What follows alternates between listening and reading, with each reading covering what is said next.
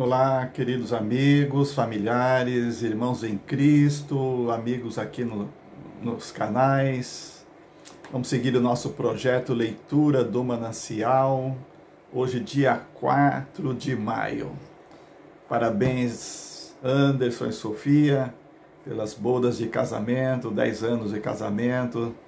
Cidinha está muito feliz, eu também já oramos por vocês, que Deus continue abençoando.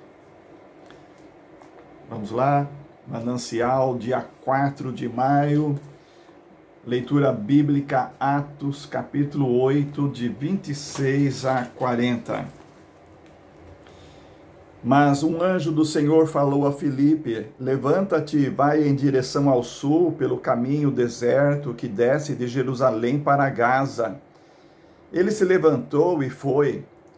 Um eunuco etíope administrador de Candace, rainha dos etíopes, e superintendente de todos os seus tesouros, que tinha ido a Jerusalém para adorar, voltava para casa e, sentado na sua carruagem, lia o profeta Isaías.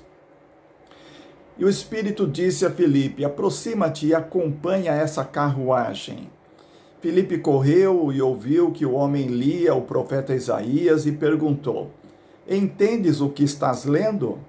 Ele respondeu: Como poderei entender, a não ser que alguém me ensine? E pediu a Filipe que subisse e se sentasse. A passagem da escritura que ele estava lendo era esta: Foi levado como ovelha ao matadouro e como um cordeiro mudo diante de quem o tosquia não abria a boca. Na sua humilhação, a justiça lhe foi tirada. Quem relatará a sua geração? Porque a sua vida é tirada da terra. Tomando a palavra, o eunuco disse a Filipe: Por favor, de quem o profeta está falando isso? De si mesmo ou de outro? Então Filipe passou a falar e, começando por essa passagem da Escritura, anunciou-lhe o Evangelho de Jesus. E prosseguindo, chegaram a um lugar onde havia água, e o eunuco perguntou: Aqui há água, que me impede de ser batizado? Filipe disse: É permitido se crês de todo o coração. E ele respondeu: Creio que Jesus Cristo é o Filho de Deus.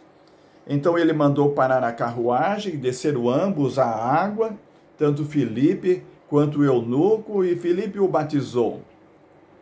Quando saíram da água, o Espírito do Senhor arrebatou Filipe. O eunuco não mais o viu e, alegre, seguiu seu caminho.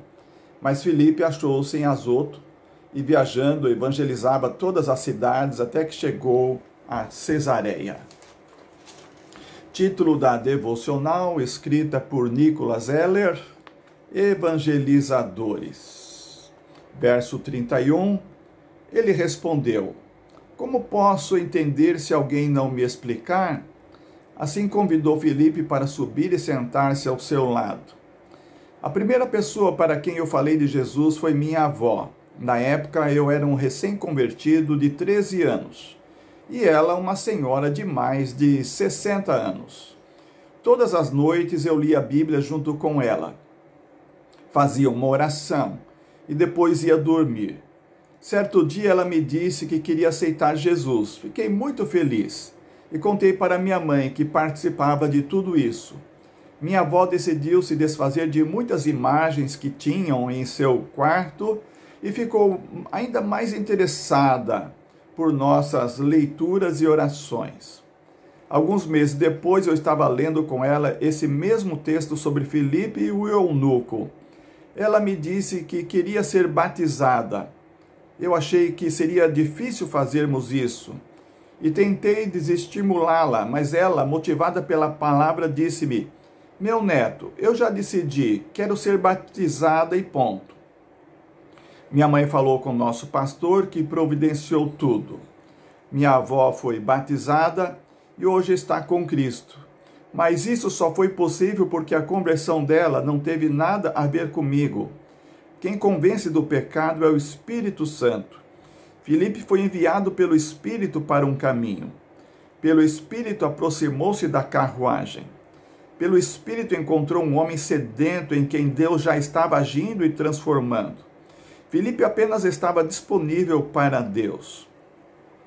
Você deseja a conversão de alguém? Esteja disponível para o Senhor e Ele fará o resto. A conversão de alguém é obra de Deus. Esteja disponível para ser usado por Ele nesse processo. Amém. Deus abençoe, compartilhe essa devocional preciosa com os evangelizadores em sua igreja, os seus amigos, colegas, grupos de WhatsApp, os irmãos da terceira idade. Deus abençoe.